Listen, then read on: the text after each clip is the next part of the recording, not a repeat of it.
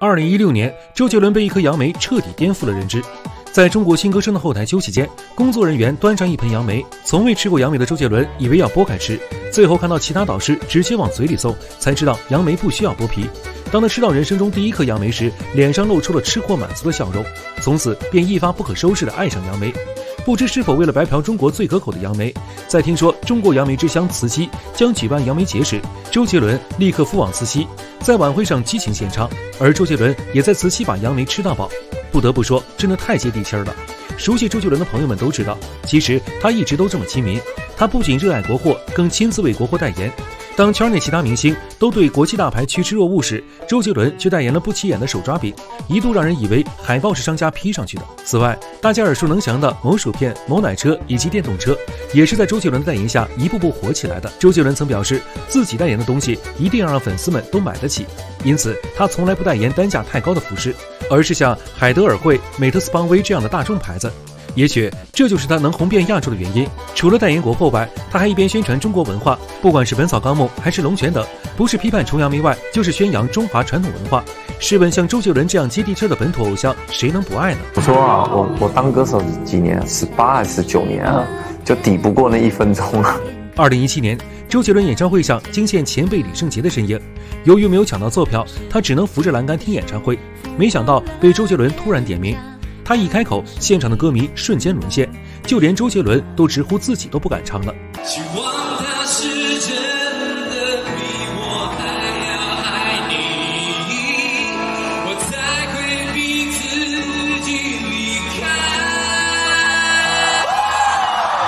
这段视频流出后，李圣杰在网络上轰动一时，无数网友都被李圣杰的嗓音折服。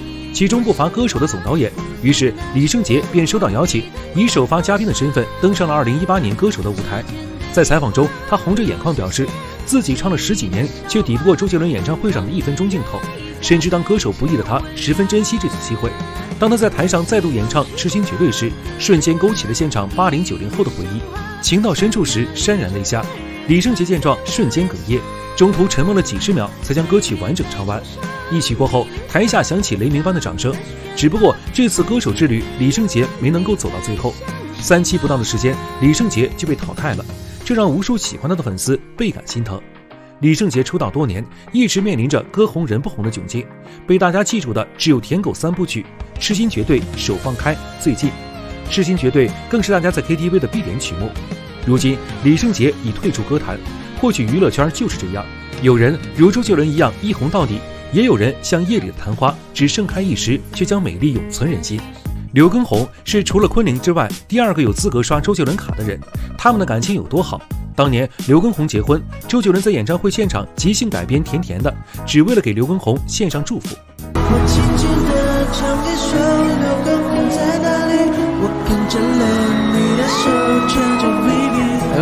刘畊宏婚礼当天，身为伴郎的周杰伦因为飞机延误没能及时到场，刘畊宏直接将婚礼延迟半小时，只为等周杰伦。两人的交情已经长达二十年。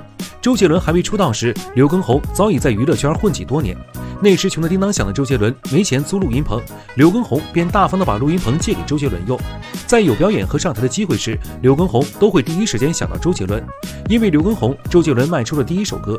为了庆祝，刘畊宏还叫来兄弟们给周杰伦办了一个惊喜派对。在派对结束前，刘畊宏甚至悄悄的结了账。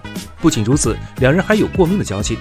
当年刘畊宏和周杰伦一起打球，结束后周杰伦想洗个澡，不料因为洗澡时间太长，导致煤气泄漏，让在休息室等待的刘畊宏和温岚直接中毒。等到刘畊宏再醒来，已经是在医院病房里了。可以说，周杰伦事业起步的那几年，刘畊宏都陪在他身边。他们之所以关系这么好，不仅是因为三观契合，更因为一同经历了无数风雨。